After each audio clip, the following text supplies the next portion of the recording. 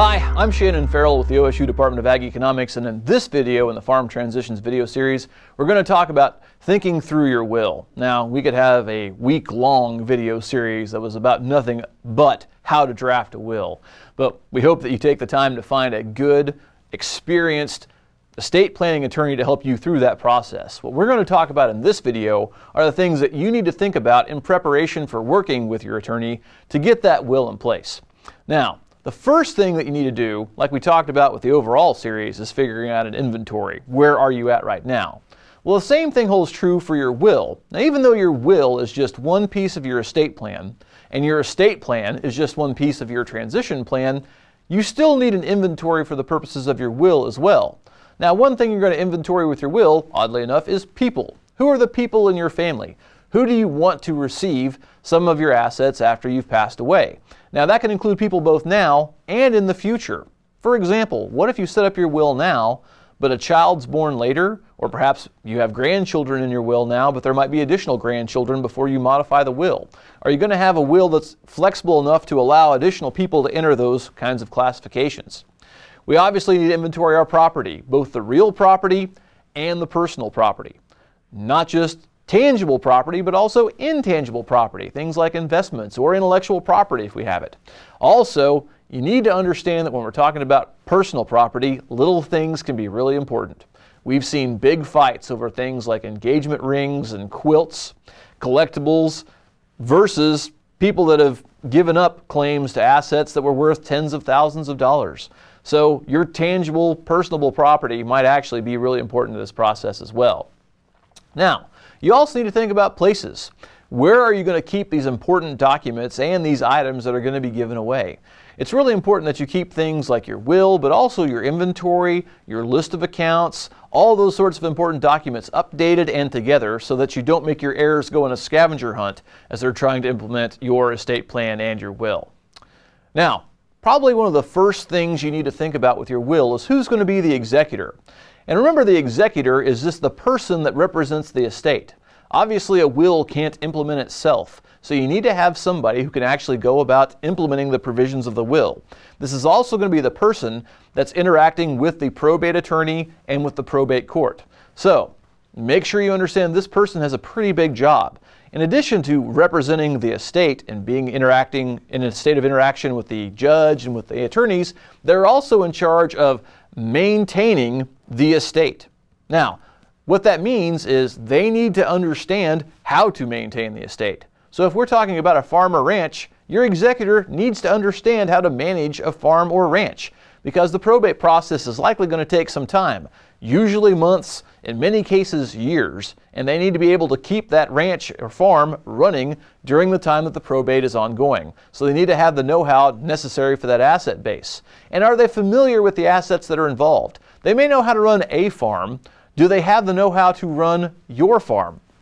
That's crucial as well. So if you choose someone to be your executor, make sure that they're familiar enough with your operation that they can pick it up and run with it on relatively short notice because that's what they'll be called upon to do.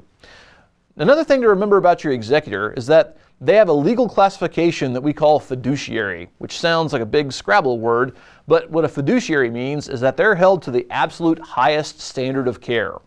Their duty is to make sure that the heirs of the estate are treated as they're supposed to be, even if that means sacrificing their own interests. So, being a fiduciary means that they're going to be under a lot of scrutiny by the other heirs of the estate, and that's something that you really need to consider. Now, under Oklahoma law, the executor, by default, is supposed to provide a bond. In other words, they're supposed to provide some sort of financial security that other people can rely on in case they don't follow through with their fiduciary duties. Now, that can be an administrative hassle. It can also be expensive for your executor. So, what many people do in their will is waive the statutory bond requirement. You can choose to do that, or you can choose to leave the requirement in place.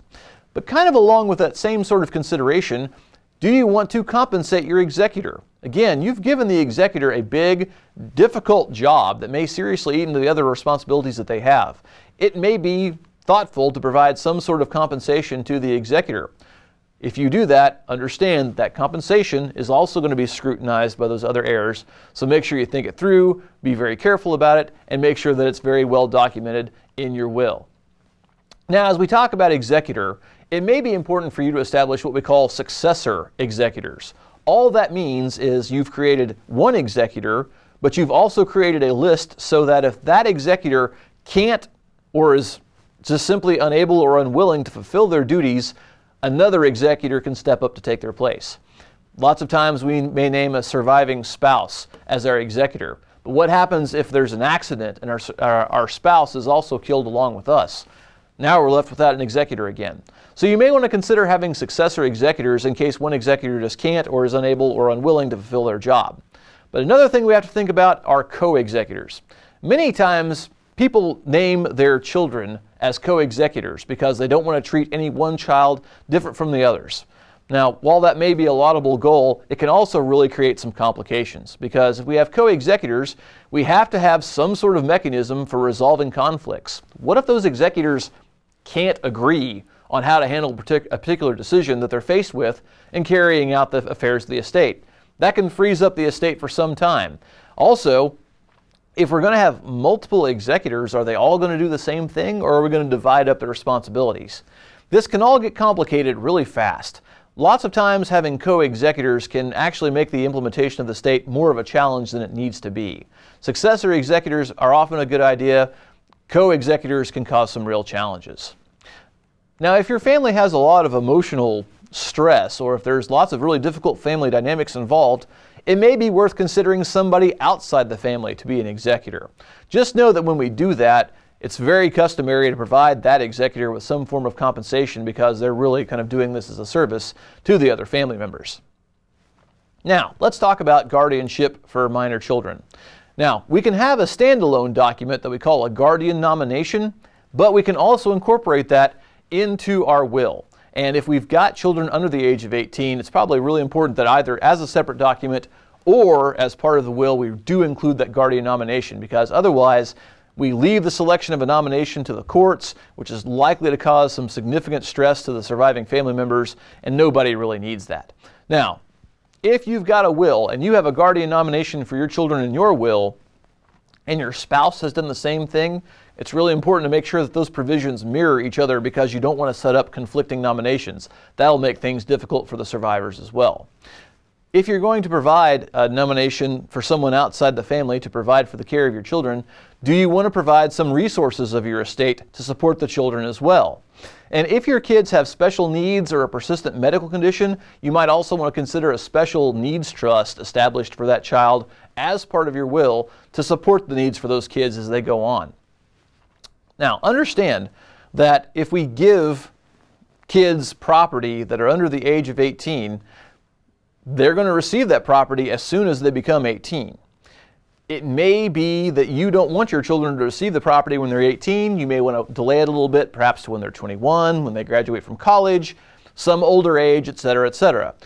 In order to do that, what you're probably going to need to do is establish a testamentary trust. In other words, if you have specific property that you want your children to receive and you want them to receive it at a later point in time, the trust will spring up in the probate process and the trust will hold on to that property until the specified age. Now let's talk about who receives real property under the provisions of our will. First off, we need to understand if we have title solely in ourselves right now, or if that title may be jointly held by our spouse or somebody else. If the property is held jointly with someone else, we need to coordinate very carefully with that other person to understand how our interest is going to be transferred. For example, if we hold property as a joint tenant with someone else, say our spouse, our will can't convey that property. It just simply doesn't have the legal power to do so. The joint tenancy is going to transfer that property. So make sure we understand the title to the property that we intend to transfer by our will and make sure we actually have the power to do so. Now, if we're going to transfer property in our will to multiple parties simultaneously. In other words, we're going to create a co-tenancy. What kind of co-tenancy do we want to create? We could create a joint tenancy, for example, and in a joint tenancy, whenever one of the joint tenants passes away, their interest is redistributed amongst the other surviving joint tenants. So let's say, for example, we have two children. We convey property to those children as joint tenants. The first of those children to die will see their interest transferred to the remaining child. That's how joint tenancy works. Now we also have what we call tenancy in common. Tenancy in common just transfers equal shares sometimes even unequal shares, to multiple parties simultaneously. But whenever one of those tenants passes away, their interest doesn't get redistributed to the other tenants. They can each individually transfer their interests however they want. How long do we want the parties to hold on to this property? If we want the people to have their property for as long as they survive, we can create what we call a life estate. Many times, for example, in a will, a spouse will give a piece of property to the surviving spouse in a life estate. The surviving spouse gets to keep the property for as long as they're alive, and then when they pass away, the property goes to a designated party called a remainderman, and they get to have the property outright. Now, that's one way that we can approach that. But another thing that we could do is also, like we mentioned in the case of minor children, create what we call a testamentary trust. We create a trust in our will. The will conveys the property to that trust, and then the trust holds on to that property for the specified period of time. Now, there are lots of things that we can talk about with respect to trusts. We'll be addressing those in another video as part of this series. The last thing to think about is if we're conveying property to anybody, are we going to attach any strings? Lots of times people would like to say, boy, I want my kids to have this land, but only if they keep farming it. Or I want my kids to have this farm and I never want them to be able to sell it. That's really difficult to do in any sort of enforceable way with a will. Because as we talked about in another video, wills do their job and then when probate's over, the will goes away. It's really difficult to create restrictions on property through a will, and it's really difficult to enforce them. So a trust might be the better choice if that's really what you're concerned about. Now let's talk about personal property. When we talk about personal property, as we mentioned before, there are lots of family conflicts uh, about personal property, and it's usually because there's some sort of emotional connection with some specific item that someone really would like to receive as part of the estate's administration. If we're going to give specific items to specific people, we need to include specific instructions about that in the will. It's not enough that we told one of our children that we want them to have this item when we die.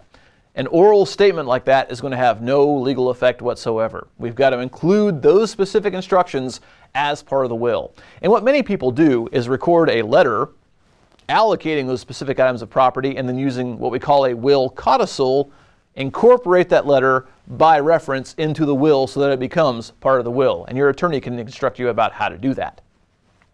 Some people don't really have specific allocations for items of personal property, but instead they just want their kids or their heirs to go through their personal property and select which items they want. If you want to do that, that's okay, but just make sure that you establish a procedure so that everyone knows the rules of that process. And remember, any of the things we talk about when we're allocating this personal property, again, have to be in writing to be enforceable.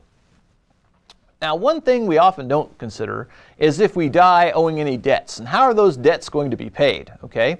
First off, if we say nothing in our will about how to allocate our property to pay those debts, there's a statute in Oklahoma and virtually every other state as well that has a sequence for how we go through your property to pay off those debts. But you may not want that sequence to be followed, and if that's the case, you need to specify in your will what procedure you want the executor to go through in actually paying off those debts.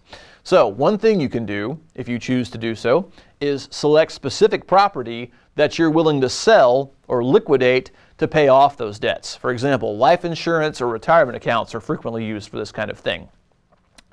Do you have a provision in your will that says, though, if that specific asset isn't enough, what assets come next? What happens if that property is not enough to cover all of your debts? If that's the case, you may want to set a priority system to say this class of asset goes first, then this, and then this. Also, it's important for you to play some what if games. How do you go about determining how you're going to impact specific gifts of property? Let's say, for example, that we chose one child to receive this specific piece of property, but it turns out that piece of property needs to at least be partially liquidated or completely liquidated to pay off those debts. How are we going to go about resolving that situation? Those are all things that you can address in the course of your will. And speaking of what if scenarios, it's important to sit down and just play as many what if scenarios as you can to determine how you'd like your will to handle those scenarios.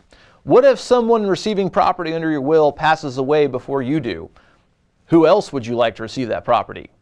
What if someone's left out? And usually we don't leave people out of our will because we just forgot about them, but rather it's because someone popped into the will. For example, if we give a gift to our grandchildren, What if another grandchild pops up after the will is executed?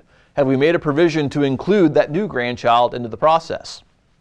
Do we have provisions that address what happens if someone gets married or someone gets divorced? Um, what if a specific item that we meant to give to someone is destroyed or lost or sold? What happens then? With any sort of will, it's really important to have some catch all provisions to basically say if any item of property hasn't been addressed in this will, it will be handled in this way. That's to avoid any of those assets have to go, having to go through the intestate succession process that we've talked about in other videos. Also, lots of people that create a trust and use the trust as their primary estate planning vehicle often forget that there may be property they didn't transfer into the trust that property, again, falls into the intestate succession process if we're not careful. So even if you've got a trust, a pour over will, which basically rounds up any property that you haven't already put into the trust and then places it into the trust, is an important provision for you to have. Now, once you've gone through this process, you'll know that in this video series we've talked about the importance of communication. It's no less important here. Remember to talk about the provisions of your will with your family because you might learn some things. You might be giving a piece of property to someone who just doesn't have the willingness to maintain it or doesn't want it or might want a different piece of property. Um, you may find that there are lots of surprises you don't know about, but talking about those surprises in advance can be really important. At the same time, talking to your kids about what you intend to do or your surviving spouse with what you intend to do can avoid surprises on their part. And from experience, we know that avoiding surprises gives us the opportunity to minimize conflict and, more importantly, minimize contests of our will. Last, but again, certainly not least, it's important to pre prepare your family members, your heirs, for whatever their new roles are going to be in carrying out the will, especially your executor, because, like we said, the executor has a tough job that's very demanding. Well, what have we talked about in this video? We've talked about the importance of having an inventory before you start off with your will planning process. We talked about the importance of thinking who your executor is, who's going to take care of any minor children that you have, what your real and personal property are and where they're going to go, understanding how you're going to pay any debts that may remain for your estate, dealing with the unexpected, and talking these provisions through with your family. Now, we talked about a lot of stuff, obviously, very quickly in this very short video, but if you ever need to go back for more reference materials or to look at any of the references or other support materials we've provided as part of this project, just go to agecon.okstate.edu slash farm transitions, and our entire library is there.